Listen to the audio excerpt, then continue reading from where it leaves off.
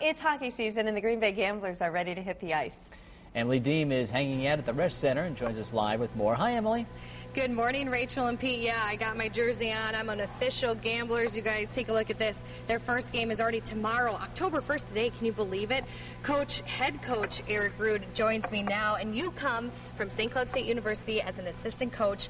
Now you're head coach. What's different about that? Well, you know, obviously, uh, all the decisions come through you now, and and when uh, and when you lose, everyone comes to me now instead of the assistant coach. So now, now I have to answer all those questions now. So that's, uh, but that's good. No, it's it's it, it, it's fun to be here. It's fun to be around this this this age group, and, and we're excited to get going. Now let's talk about the age group. We got 16 year olds on the team right now. People in high school. Yep, there's some, some kids in high school, and then we have uh, you know 17, 18, 19 year olds. So they're they're all uh, they're they're some young guys here looking to kind of move on in their careers. Now this is a juniors team. Yes.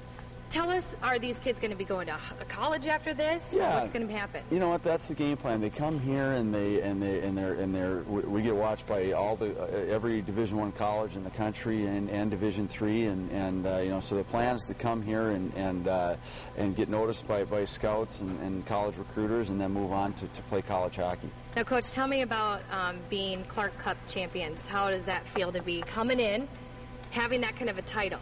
Yeah, it's great. You know, I mean, it, it'll be a fun moment, especially for those guys that played here last year. You know, when we drop the banner the, tomorrow night. You know, really, really a strong sense of accomplishment for those guys. And then it'll be nice for the new guys, all of us new guys, to see that and have something to aspire for this year.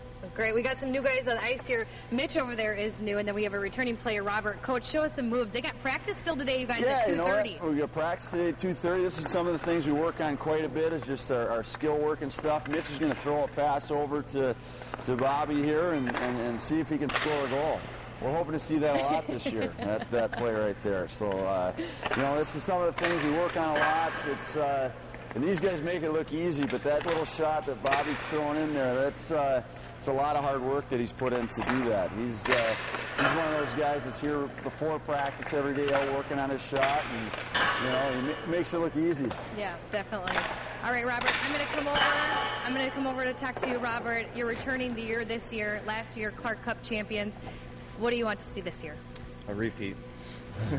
That's pretty much it. You know, I mean, you can't really compare how it was last year. I mean, we had 45 wins, 10 lo- 10 losses, or something like that. You know, you just you just want to repeat. You know. So. Well, great. All right, Robert. Best of luck to you guys. The puck drops tomorrow, 7:05 at the Resch Center. All the information is on fox11online.com. We'll send it back to you. Sounds yeah. great. Thanks, Emily.